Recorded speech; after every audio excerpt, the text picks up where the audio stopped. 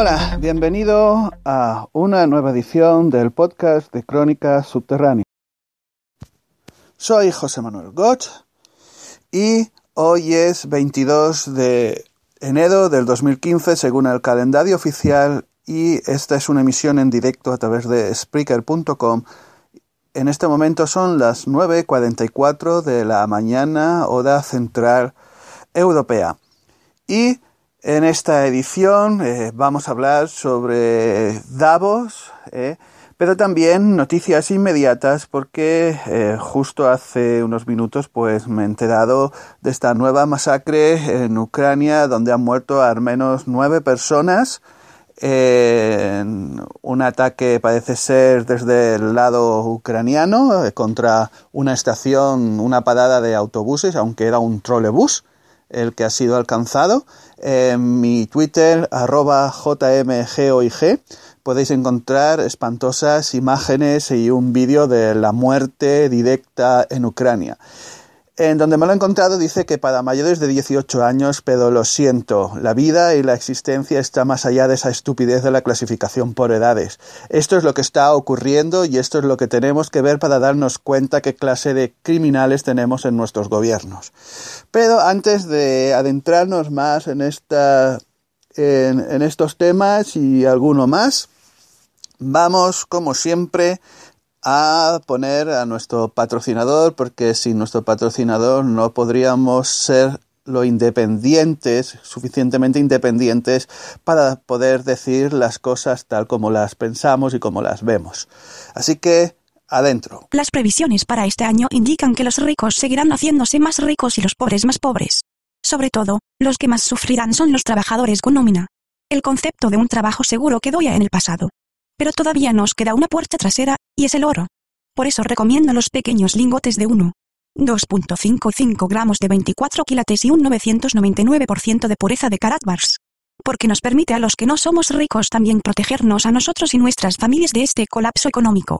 Entra en www.oroparatodos.org, repito, www.oroparatodos.org, y mira por ti mismo lo que te estoy diciendo.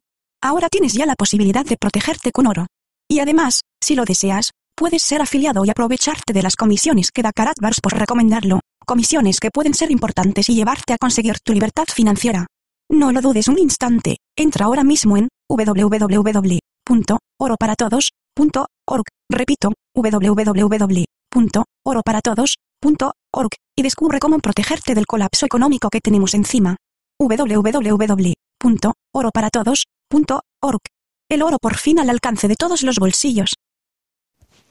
Bueno, pues eh, ya estamos otra vez como cada año en la reunión de Davos, este pueblecito turístico, digamos, suizo, en la cual los billonarios, eh, trillonarios y todos esos que tienen eh, lo que llamamos dinero a mansalva, ¿no? a cantidades industriales en sus bolsillos, eh, la mayoría de ese dinero, pues eh, creado de la nada para darles la importancia que no tienen, bueno, pues están reunidos en, Davos. Entre los temas, por ejemplo, eh, bueno, pues van a tratar el cambio climático, que es algo muy curioso, ¿no? Porque he visto una imagen de los jets privados que han llevado estos billonarios a Davos. 1.700 jets privados han conducido a esta gente, personas, y los llamo así porque no los conozco demasiado, a esta gente, personas, a reunirse en esa localidad en hoteles de super lujo. Es decir, es, lo típico. Recuerdo, recuerdo aquí una, en Barcelona, una, hace pues ya casi 10 años, ¿no? Una pequeña sequía que hubo que prohibían a la gente pues eh, lavar sus coches, prohibían eh, un montón, eh, utilizar excesivamente el agua y estas cosas, eh, cerraban las, las fuentes, cerraban los parques, ¿no? los lagos artificiales, y mientras los del ayuntamiento, que eran los que dictaban estas normas, llenaban sus piscinas en sus mansiones en la zona alta de Barcelona. Bueno, pues esto es realmente el cambio climático, ¿no? Eh, nos obligan a todos a tener austeridad, a, cuidar del medio ambiente, mientras ellos van en sus jets privados contaminando el medio ambiente. Perdón, es que es mejor reírse que no llorar. Entonces, en, este, este lugar de Davos, bueno, pues eh, ha ido el número dos de, de China, ¿no? Para, para explicar sus, eh, lo que están haciendo, ¿no? Los chinos. Es, aquí hay una, una, cosa muy curiosa, porque en un reciente artículo de Jim Ricas, Jim Ricas es un posiblemente todavía agente de la CIA, pero lo fue, él mismo lo explica, en los años 70 en el, departamento de Asuntos Económicos y que ha escrito un libro que se llama La muerte del dinero. Y él explica que ahora mismo el odo está artificialmente bajo para que China pueda conseguir el suficiente respecto a su Producto Interior Bruto y que en el momento en que China consiga su el odo suficiente respecto al Producto Interior Bruto, igual que lo tiene Alemania y, Estados Unidos y los demás países, y Rusia incluso, entonces en ese momento ya darán eh, rienda suelta que el odo se ponga en su lugar, que podría ser 5.000 dólares la onza o más. Entonces, aquí es que estamos en un juego que es muy divertido como nos hacen creer que unos son enemigos de otros cuando en realidad son el mismo sistema piramidal. Es muy divertido encontrarte que en un lado tienes el FMI y el Banco Mundial y por el otro lado los BRICS dicen que quieren crear una alternativa y van a crear las mismas instituciones pero con un nombre diferente y van a, a, mantener su sus oligarcas iban a mantener su estructura piramidal.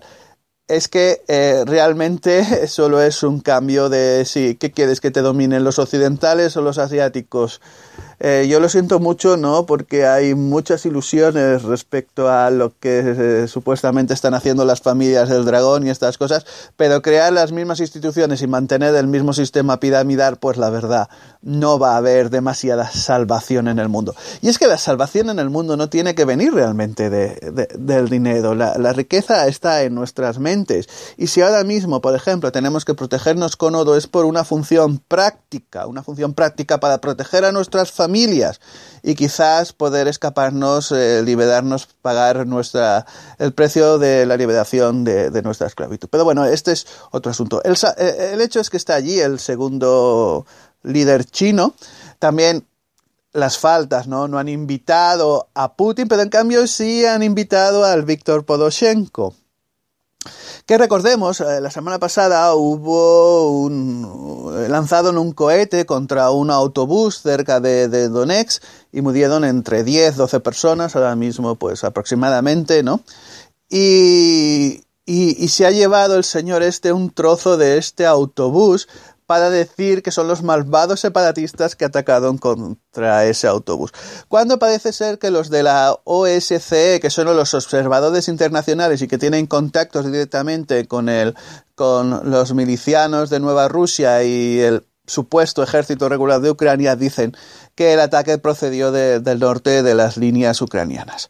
Y así nos levantamos esta mañana con el señor Podoshenko eh, que es el esbirro eh, de, de, Occidente en Kiev, diciendo los malvados que son los malvados separatistas y nos encontramos que son eh, que, que eh, los ejército, el ejército ucraniano, aunque es que es, es como decir ejército ucraniano es una cosa muy extraña porque la, son a ver, ¿cómo podríamos decirlo? No, no, están realmente, muchas de esas unidades no están realmente bajo el control ni siquiera de, de Kiev, ¿no? Bueno, pues una de estas unidades ha lanzado otra vez un ataque, un bombardeo contra Donetsk y nos encontramos otra vez con las imágenes de personas muertas dentro de un, esta vez un trolebús, como mínimo nueve personas que estaban en una parada de trolebús en Donetsk han sido alcanzadas por el bombardeo y allí se han quedado.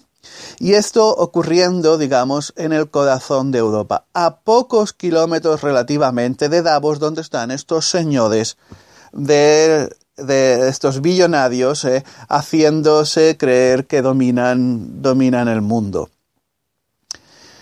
Y eh, estamos eh, de, de, de, esta, de, esta manera.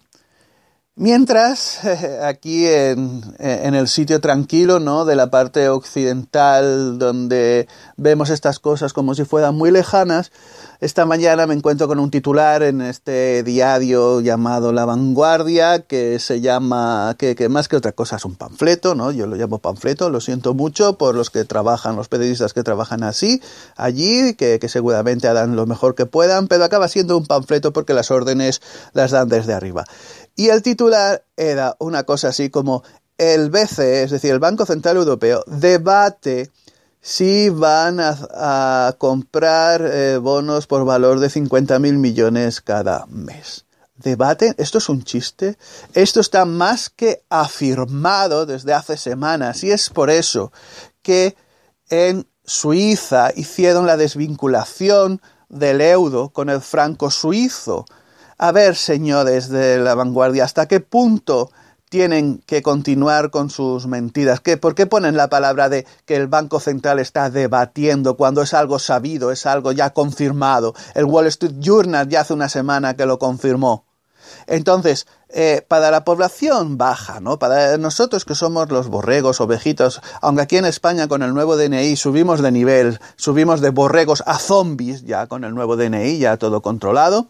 Bueno, pues eh, eh, los titulares de los medios desinformativos, de, los periódicos, la radio, las televisiones que siguen los dictados de estos billonarios de, de Davos, pues sencillamente su misión es no decir la verdad nunca y desinformar a la población tienen que decirles que están debatiendo, como que están eh, muy preocupados en el Banco Central sobre la economía y hacen lo mejor por nosotros, cuando es totalmente lo contrario. Así, pues eso, el, el continúa, eh, puesto que se está devaluando el euro, pues el oro para mantener su poder adquisitivo, pues continúa aparentando que está subiendo de precio, pero el oro siempre mantiene su valor, no es que suba de precio, ¿no? Son las monedas fiduciarias que están, que están bajando. Y en este estado de cosas, pues eh, estamos pues aquí, ¿no? haciendo este podcast e intentando mirar por entre los entresijos que nos dejan estos señores en, eh, en esta batalla de la desinformación.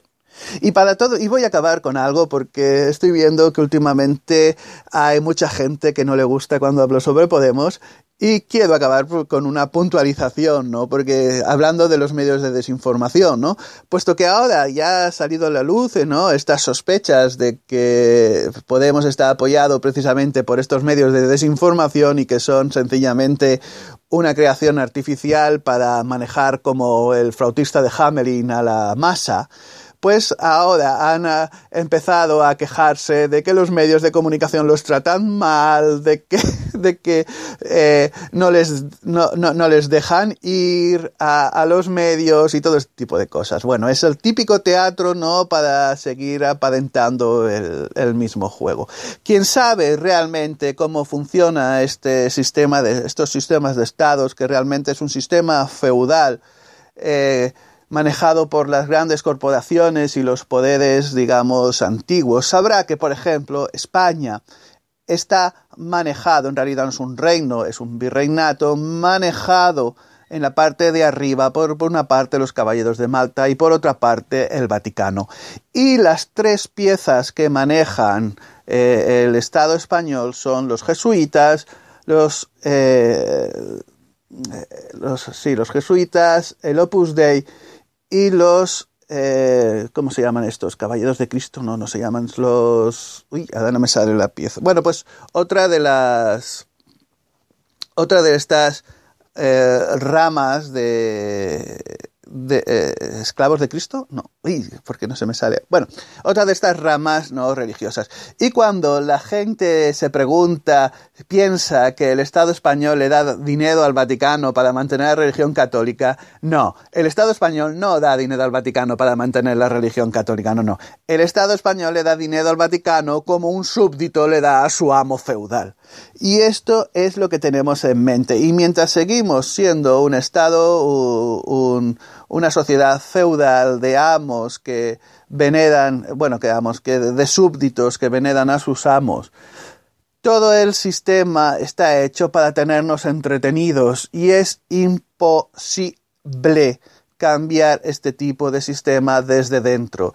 Y todo aquel que dice que quiere cambiar este sistema desde dentro o es un iluso, si es que va con buena voluntad, o es una fabricación artificial del propio sistema para tener a la gente controlada. ¿Qué es lo que pienso yo?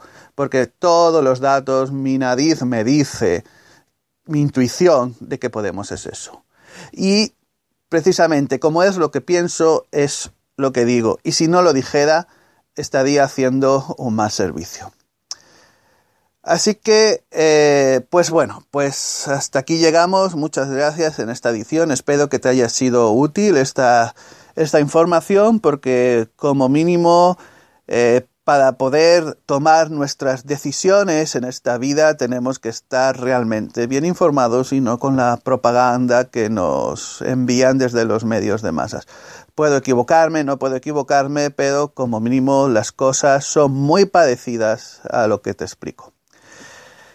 Así que, pues eso, ya decía, muchas gracias por tu atención, por este, por, en esta nueva edición del podcast. Hoy es 22 eh, de enero del 2015. Ahora mismo son las 10 de la mañana, según el horario central europeo, el calendario oficial occidental impuesto. Y, pues, eh, nos encontramos, espero encontrarte hasta en una siguiente edición. Hasta entonces, un abrazo.